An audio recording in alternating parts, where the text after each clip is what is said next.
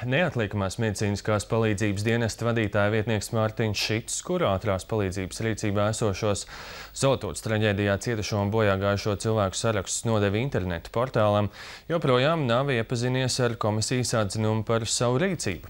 Pēc atstādināšanas Šits darbā nav ieradies jau divi ar pus mēnešus. Pat labi ir ārzemēs un nav sazvanāms. Tiesību sargs uzskata, ka notikušais ar šo sarakstu parādīja kārtējo problēmu. Valstī nav vienotas kārtības, kurš liela lielu katastrofu gadījumos publiski nosauc mirušos un cik ātri tas notiek. Turpināja Kīnce. Kabinets aizzīmogots 2013. gada 25. novembrī 12.10.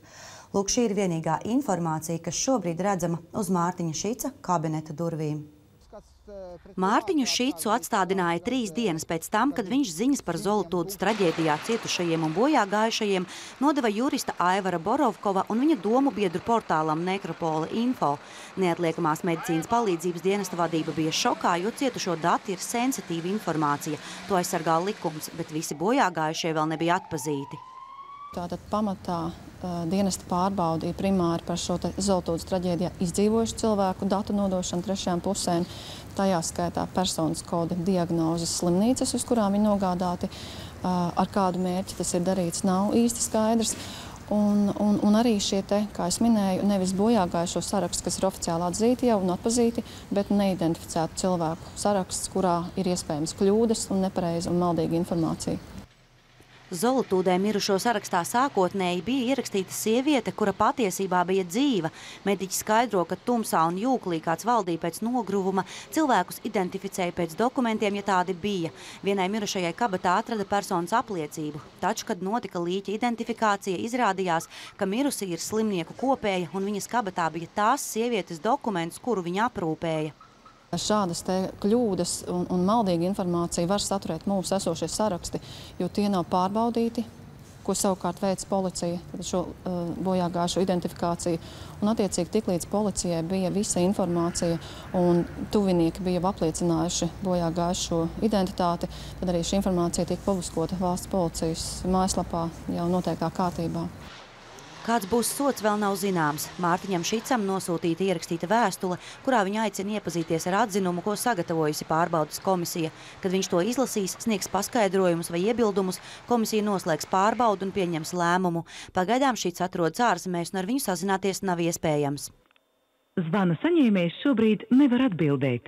Lūdzu, sagaidiet signālu, ja vēlaties nosūtīt bezmaksas īsziņu par jūsu zvanu.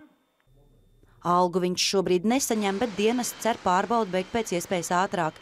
Šīts atstādināšana pamatīgi saviļņoja sabiedrību. Viena viņa rīcība attaisnoja, sakot, ka viņš viesa skaidrību. Petīciju par viņa atjaunošanu amatā parakstīja 4,5 tūkstoši cilvēku. Tikmēr amatpersonas iebilda, ka šits tā darīt nedrīkstēja.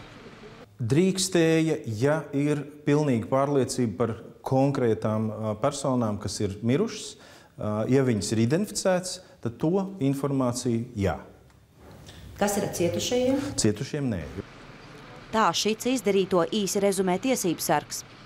Tiešas, skaidras, konkrētas procedūras, kā rīkoties dienestiem konkrētā situācijā, katastrofas situācijā, nav. Uz to mēs arī norādījām premjerministram uh, un vērsām uzmanību uz to, ka nekavējoties ir jārada kaut kāda saprotama, jēgpilna procedūra, ar ko vienkārši var strādāt gan attiecīgie dienesti un kas ir saprotama sabiedrībai.